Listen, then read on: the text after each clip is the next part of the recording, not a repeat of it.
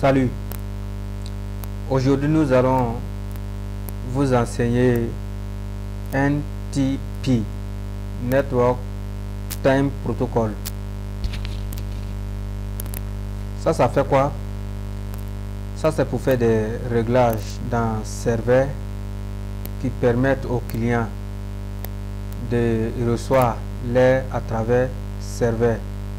Et c'est important parce que dans les entreprises, si les serveurs et puis les clients sont sur l'air différents, ce n'est pas professionnel. Parce que quand tu envoies quelque chose à partir de 8 heures par exemple, l'autre peut recevoir à partir de 3 heures. Donc quand c'est comme ça, c'est pas bien.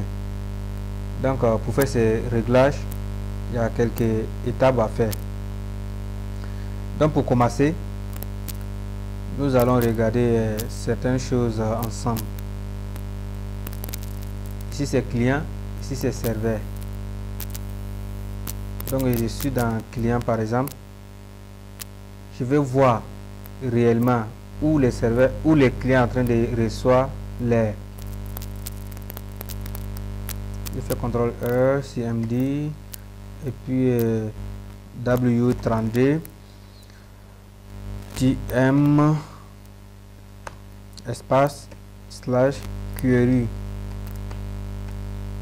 espace encore slash puis source donc voilà c'est écrit local CMOS clock.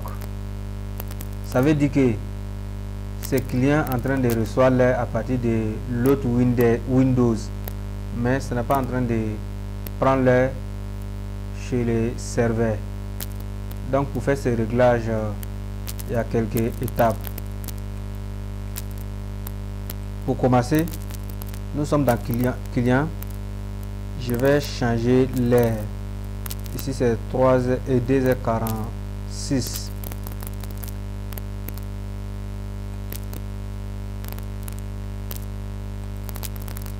je vais mettre ça sur 5 euh, et ok. N'oubliez pas aussi euh, de changer les, les, zones ici ça est sur Tehran je peux mettre sur l'Amérique n'importe quel pays l'autre côté aussi ça doit être sur même zone pour, que ça soit juste sans retard c'est à dire si serveur ici 5.00, l'autre aussi c'est 5.00. Donc pour faire les étapes, on vient dans serveur.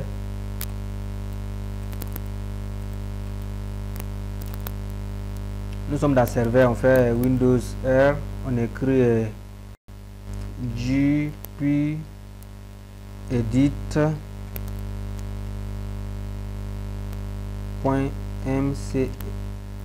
msc donc nous sommes là. On vient dans administrative template. On vient dans système on vient dans windows time service nous ça il y a global configuration setting on choisit ça et puis euh, on fait enable on vient ici à nos comptes flash. Donc, euh, on met 5. C'est obligatoire de mettre 5.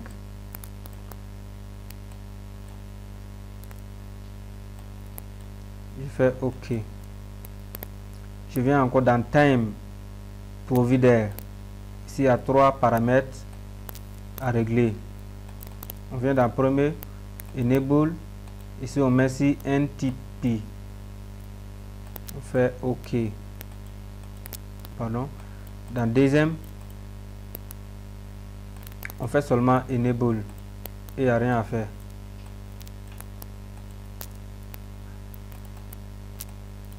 Aussi, on fait enable. OK, il n'y a rien d'autre à faire. Deuxième étape, comme d'habitude, GP Update. Deuxième étape, on vient activer GP Update.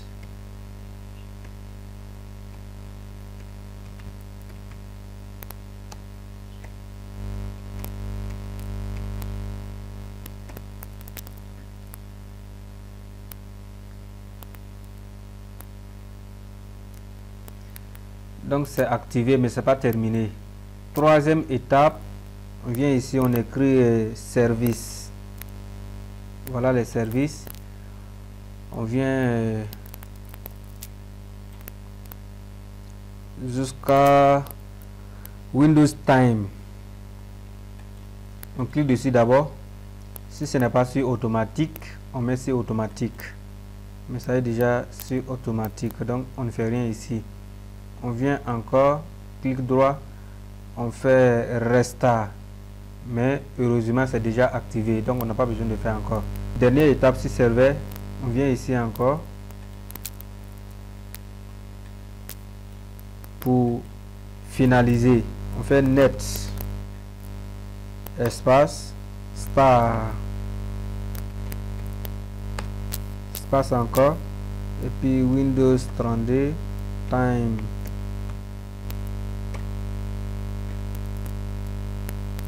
donc on dit euh, the windows time service was started successfully.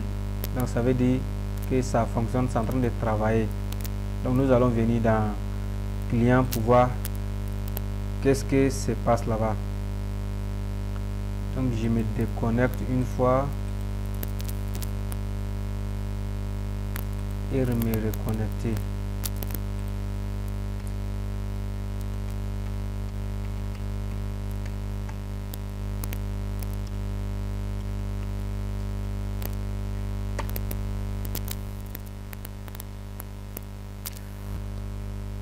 Donc, si nous regardons ici, euh, il est 2h55. Dans serveur aussi, il est 2h55. Alors que j'avais déjà changé l'heure de ce client pour mettre sur 5h du matin et puis serveur était sur 2h quelques. Mais actuellement, tous les deux computers sont sur même heure. Donc, ça veut dire que le client est en train de prendre l'heure directement chez les serveurs. Donc pour être sûr, il faut écrire Windows R CMD. On dit W32 TM espace slash query espace encore slash source. Donc vous voyez wintan et puis warama.com donc directement, ce client est en train de prendre directement l'air chez le serveur. Donc le travail est parfaitement bon. Donc euh, c'est tout ce que je voulais vous enseigner aujourd'hui et à bientôt.